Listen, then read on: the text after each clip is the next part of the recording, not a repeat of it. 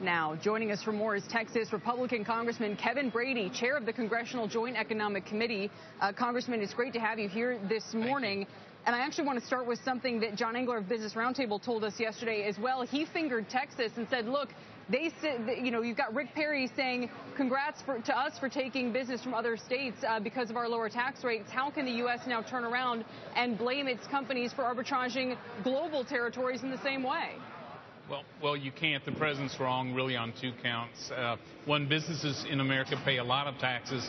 Unfortunately, they pay the highest corporate rate in the world, and so for them to compete, survive, uh, grow uh, in an com- increasingly competitive world, when they're competing against uh, companies whose tax rates are half of theirs, they have to do something. The answer, uh, truthfully, is to fix this broken tax code.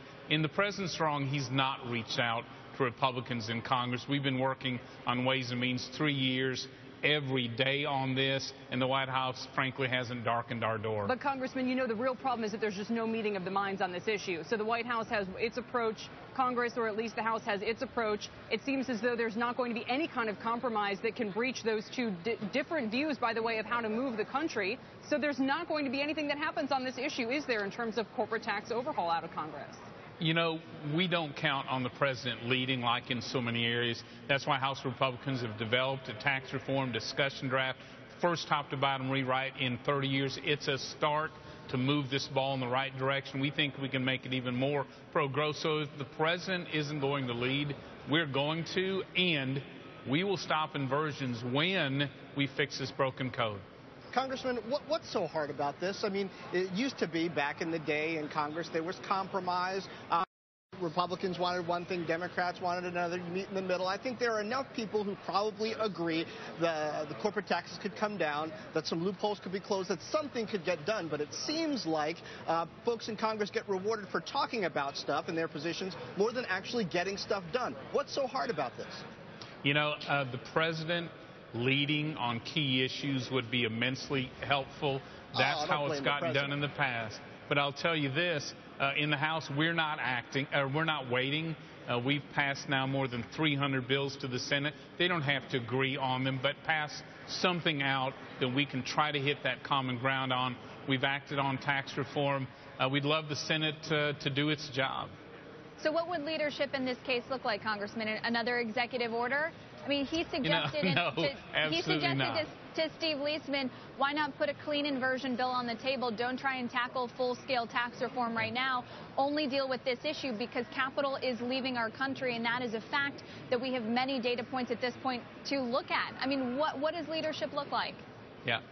It isn't an executive order, and it certainly isn't this inversion bill, which ignores the root cause of these companies' uncompetitiveness, and it actually makes the problem worse. My prediction is if the, the president's meantime, bill, do do? hold on, if my my prediction if the president's bill were to pass, it would force more American jobs overseas, not simply where they're uh, located, where their uh, official uh, work is. Congressman, I, I, want to ask you a question on sanctions before we let you go, but first, just have you respond as well to something Mark Cuban told our network this morning. He said that uh, basically the American public shouldn't back companies doing this because it's effectively going to end up raising tax rates for everybody. And I think it was Stan Druckenmiller who echoed that, saying he thinks ultimately it's going to be the shareholders of these corporations uh, that are paying more in taxes in some way, shape, or form as this all moves forward. You know, I, what I see is that American companies struggling to create jobs here in America. They're finding they can't compete around the world with this broken tax code. They're doing what they need to do to try to grow themselves as a company. I think the best uh, tax relief is not only fixing this broken code, but doing it in a way where companies who succeed can invest their profits here in the United States. They can't do that today. So I think the root cause is what we ought to tackle.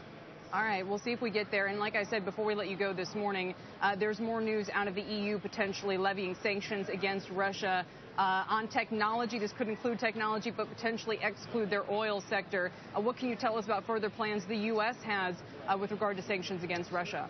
You know, right now, the president's really making, I think, minor steps in the sanctions area. He doesn't seem to be serious about taking the step, and frankly, Europe hasn't been uh, serious about taking the real steps that would cause um, a change in behavior in Russia. Sanctions only work uh, if everyone is involved in it. Uh, and until we get U.S. and Europe on the same page, I don't think we'll see a change in behavior. Interesting. Congressman Kevin Brady of Texas this morning, thank you for your views. Thank you. Appreciate it.